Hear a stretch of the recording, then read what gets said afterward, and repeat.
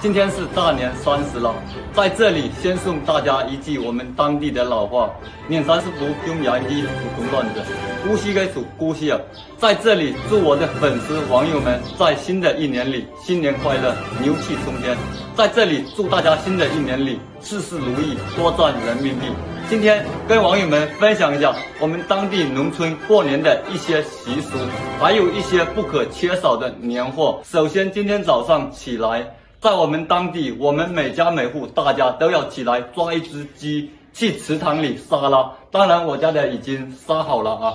还有一些年货，大家看看，你们家乡也是这样过年的吗？这个就是我家的厨房了，在我们农村才会有这样的灶台。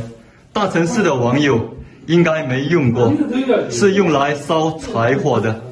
现在锅里的是油，这样煮出来的食物啊是原汁原味的，非常好吃啊。用来泡豆腐，这个油锅现在，今天我老爸老妈在下厨，我家养了一年的大烟鸡，今天把它给宰了，弄了一大盆的肉。还有这个是筋肉，这只大烟鸡有五六斤的样子。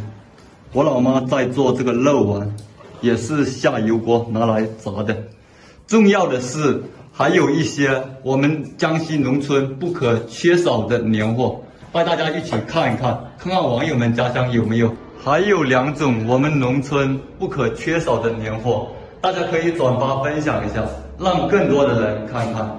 因为普通话我不知道怎么形容啊，大家来看一下，这边一种黄黄的，我们当地称为黄米果，因为这个是用米做成的，也有很多人说叫墨斋，这个只是方言啊。